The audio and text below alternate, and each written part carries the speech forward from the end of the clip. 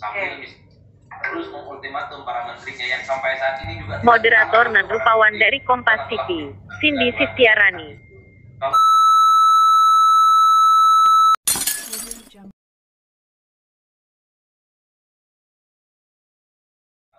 Mempol kepada presiden.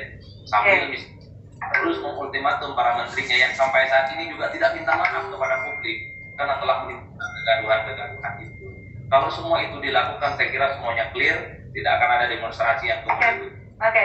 Tanggung jawab presiden dan juga menteri atau juga pak- Ya, karena begini, ini kan ada pemandangan yang mau diungkap gitu ya.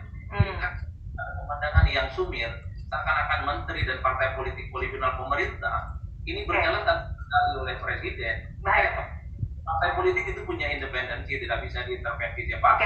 Pak Wandi, jadi gimana? Masih dinilai kurang tegas kemarin dalam pernyataan di rapat pembahasan pemilu di Istana Bogor untuk bisa menghentikan polemik ini? Ya, saya kira saya kira itu sudah cukup jelas bahwa saya kira kita semua akan mengawal memastikan hal itu. Dan eh, himbauan-himbauan eh, masukan supaya lebih tegas lagi barangkali ya bisa saja boleh saya diberikan masukan. Oke, tetapi dengan eh, dengan spekulasi di publik. Cukup dengan ya itu. betul tidak perlu lagi ada spekulasi sudah jelas jadwal pemilu sudah eh, ditetapkan Oke, dan kita baik. akan mengikuti kalau kita mengikuti jadwal pemilu kan berarti spekulasi tadi tidak seharusnya Nah. terjadi lagi Oke, terakhir untuk eh, Mas Adi. Jadi bagaimana Presiden harus merespon? Tadi kan sudah cukup untuk stop spekulasi. Jelas kemarin. Betul kita layak mengapresiasi Ya. atas presiden. Mereka pastinya adalah orang-orang yang sudah tidak lagi menganggap presiden itu ada. Layak untuk diberikan sanksi yang seberat-beratnya. Oke, layak diberikan sanksi seberat-beratnya, terutama menurut Mas Adi mereka yang ada di lingkaran uh, kekuasaan atau pemerintahan ya.